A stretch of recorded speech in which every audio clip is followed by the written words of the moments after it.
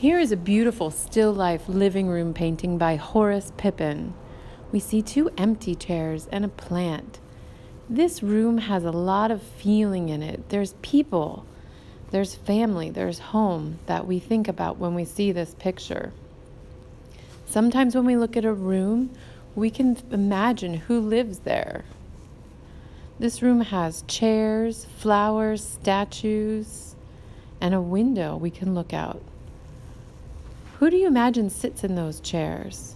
Who do you imagine looks out that window? What other details do you see in this painting? We are going to make art where your family is represented in the room. This picture features me as the orange chair, my husband as the dad, the teal green chair, and my daughter is the vibrant green fresh plant in the center. I made simple pieces of a room, and this isn't my real living room, but instead it's a representation of family, of home. In your picture, you get to decide what furniture your family is going to be. In Beauty and the Beast, even the people in Beast's castle turned into furniture. You could tell the personality by what kind of furniture they turned into. Here's another character from Beauty and the Beast. You can tell a little bit about him by how he looks and how fancy he is. This is the more recent Beauty and the Beast with live action people, and we can see the opera singer and the interesting piece of furniture that she became.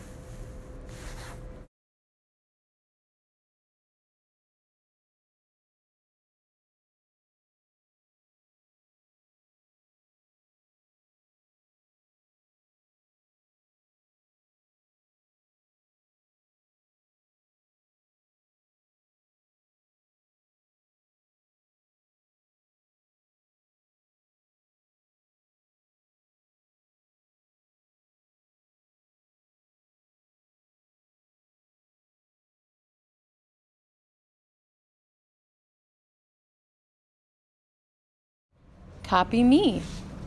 Draw a flat line to make kind of a bump shape. Do a flat line and bump over and upside down U to make another. Then draw a straight line connecting the two across the bottom. Another line will make a square in there. That's going to be the front of your chair.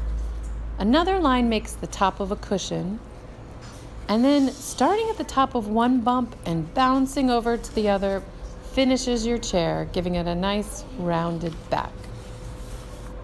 New paper. Instead of a U shaped bump, it can bend out to the side. Here's another one. Make a bump that bends out to the side. Do the same line across the bottom and up above and make a cushion top. Then from the middle of the top of one to the other, you can make a different kind of shape for your chair.